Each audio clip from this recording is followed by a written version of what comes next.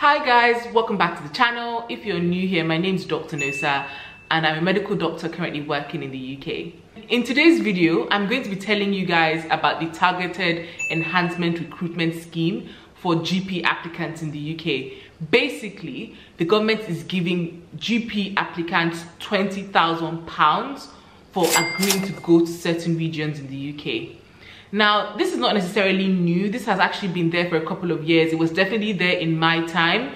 You would get what we call a golden handshake from the government, um, a £20,000 payment for basically doing your GP training, which is three years long in certain parts of the UK. However, during my time, you had to go to really remote areas. Like, I remember back then, it was places like Northumberland, but even further than that, like Cumbria, very, very cold, really up north.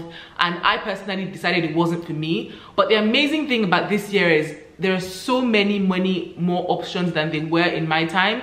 Now, there are even places in London. I'm talking like Ealing, I'm talking like Enfield, and it completely makes sense to apply. I'll be telling you the benefits of that in this video and how exactly to go about it.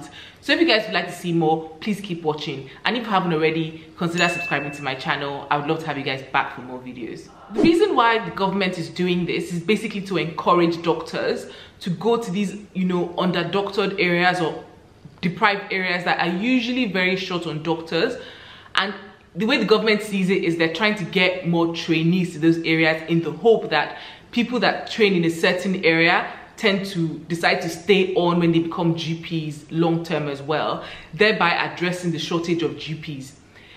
In terms of the shortage of GPs, the fact that the government has actually created more posts like this and is willing to pay people to go to places even in London, London, which is generally oversubscribed in terms of applications, confirms the fact that there's not enough GPs in the UK the bashing by the media constantly of GPs is probably not encouraging people to want to go into the specialty anyway because literally GPs are blamed for everything.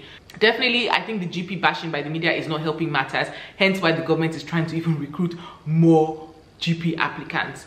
So like I said, you get £20,000 to work as a GP trainee in certain areas. Bear in mind, if you don't finish that training or you decide to resign or for whatever reason, you would have to pay that payment back in installments. In my description box down below, I'm going to put a list of all the places the government is giving £20,000 to GP trainees to go and work at.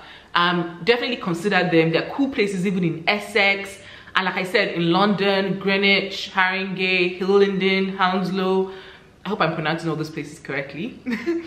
Um, and yeah, there's other places obviously outside London. And if you're an international applicant and you don't really care about where you go, definitely consider these places up north um, because they tend to be more of the places that have um, a shortage of GPs.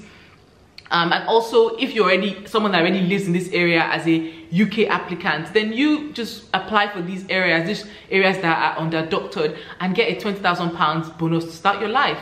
Now, if you want to apply to these schemes, bearing in mind that, the, that this scheme is actually starting in 2022, the Oriel website, which is the website that all doctors in the UK use to apply for training jobs, while you're applying for your GP training job, you literally rank these hard to recruit places on there. If you're sure it's even the top job you want to take, then make it your first one, why not? They have said though, and this is where, you know, depending on how many people are applying, depending on the competition, that if so many people apply so basically it's oversubscribed then the standard recruitment processes would apply. So which i assume that if a lot of people are applying to for example hounslow which is one of the places they have said is generally under doctored then they would not basically be giving you this 20,000 payments because it, basically there's a lot of doctors that are willing to fill that post even without the 20,000 pounds enhancement. So yeah guys seriously consider it if you enjoy GP training and it's something you would strongly consider, then I'd really suggest you apply to these posts.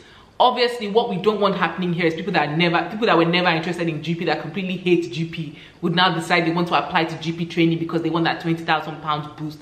If you haven't watched my video on why you should not become a GP, you definitely need to watch it because I definitely explain to you why you would absolutely hate your life if you went into GP um, solely for the purpose of money or the flexibility that it gives you. You actually need to be comfortable with the job to an extent, which involves a lot of independence, a lot of risk, risk taking to name a few. And if you're one of those doctors already in GP training that wants to consider perhaps resigning and reply, reapplying again to get this 20,000 pounds in certain areas, trust me, you can't do it. You're not allowed to resign from your GP training job and apply um, for GP training again. It's just not allowed. And it's not just exclusive to GP. It also applies to things like internal medicine training. They really trying to discourage people from resigning and applying again hence why they've made this rule that only under exceptional circumstances would they consider people that have resigned from a training job to be applied to the same training job. Um, because if you couldn't do it the first time i guess they're thinking why why do you think you can do it now? Just to mention another point as well is that for example there are places in essex. If you're one of those people that has family in london um, you can just literally apply to these places in Essex and then commute from London. I'm just saying it depends on how important the money is to you versus the commute. But I'm just trying to explain that you should just really try and fit this in if you're already going to apply for GP training anyway, because it is nice to just get 20,000 pounds boost. So if you guys found this video helpful, give it a thumbs up. Let me know in the comments if you didn't know about this or if you knew about it and whether you'd be applying or why you didn't, why you're not going to be applying. I'd really be interested to know. Um, I'll see you guys in my next one. Bye.